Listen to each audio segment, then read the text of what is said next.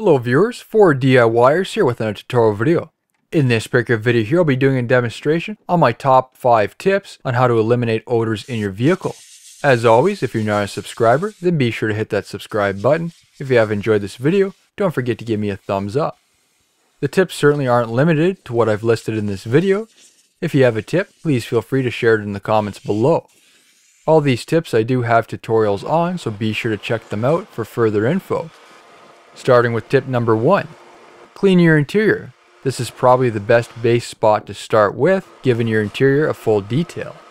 This includes throwing out any garbage, vacuuming up any debris, especially under the seat or in those tight nooks, wiping down the interior components which may have experienced spillage, and then shampooing the upholstery.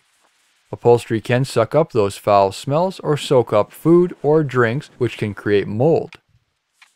Moving on to tip number two. This is more specific to cars, but can also be applied to other vehicles with a similar design. Remove your back seat and clean underneath it. These are sometimes bolted in, but for the most part they simply have clips up front. Give them a pull to disengage the clips, and then remove the seat base. Stuff manages to fall between the seat back and base, or through the seat belt pockets, and has nowhere to go. I've found anything from food to wrappers, money, pens, pencils, and drink spillage under the seat.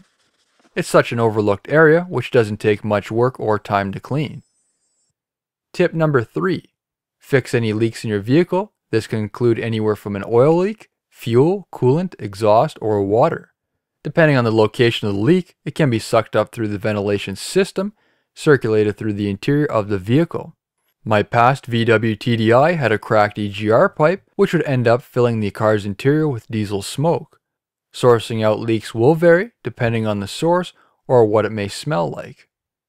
Tip number 4. Replace your cabin filter.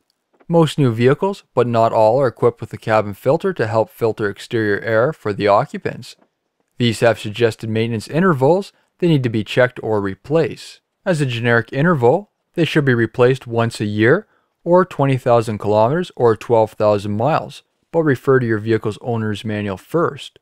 To further help eliminate odors, specialty filters are available which are embedded with a deodorizer or material such as a charcoal. And finally, tip number 5. Chemically deodorize your interior, a method that is used by mechanics and detailers. I just recently released an updated version of this video which involves spraying a chemical into your vehicle's ventilation system that helps kill mildew and other foul smells. It's known as an evaporator treatment and an evaporator can have mold or mildew build up.